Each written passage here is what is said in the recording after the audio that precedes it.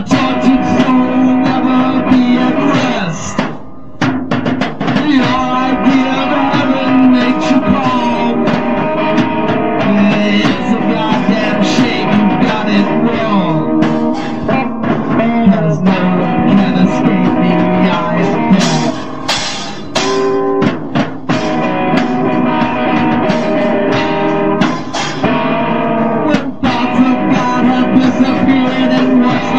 Life is filled with beauty